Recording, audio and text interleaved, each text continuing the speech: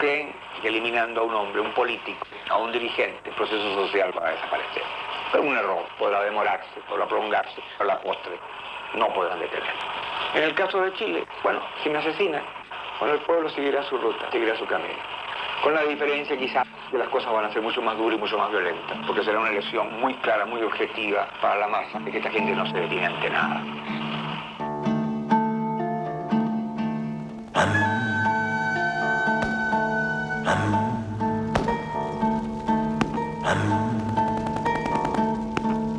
Muy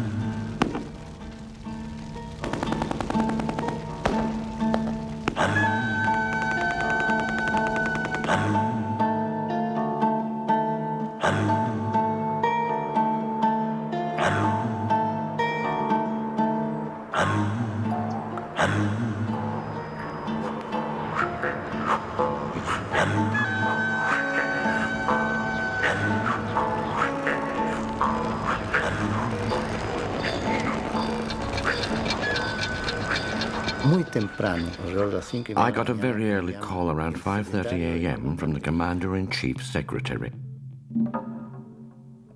Me dice, tienes que venirte. He said, "You must come here to the Ministry of Defense because the army is taking over today."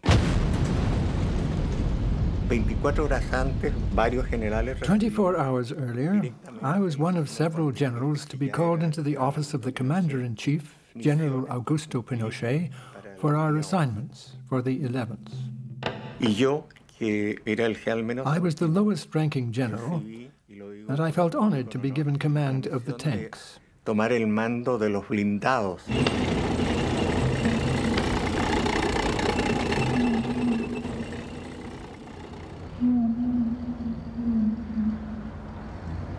Yo tomé mi guardia a las 6 de la mañana en Tomás. I came on guard duty at the president's residence at 6 a.m.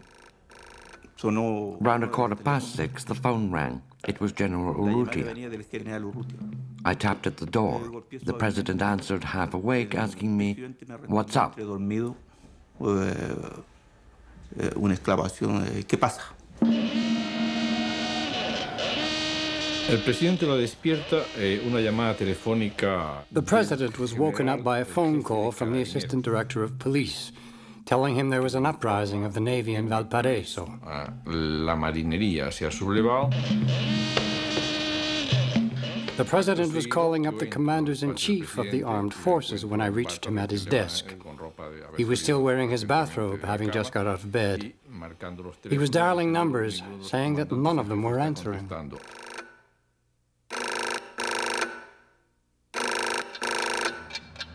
Llegué al Ministerio de Defensa.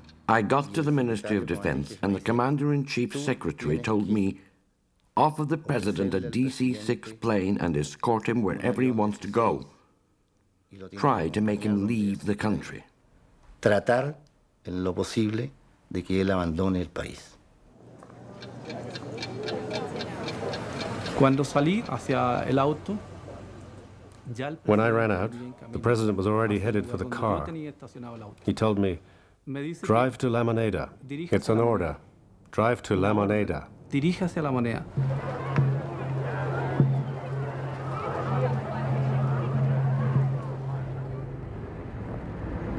Cuando salimos, las calles estaban todas solitarias. When we left, the streets were deserted. I can't remember seeing a single vehicle on the way. It was like a ghost city. On the way, I asked Raul, What's happening?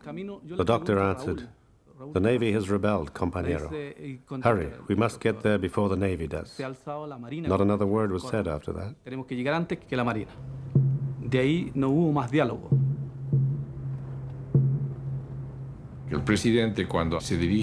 On his way from his residence to the presidencia de la presidential palace of La Moneda, información de que dispone the president was relying on information that the regular army and the national police were behind the government. With the support of these two key military forces, he felt he could face and even suppress the mutiny.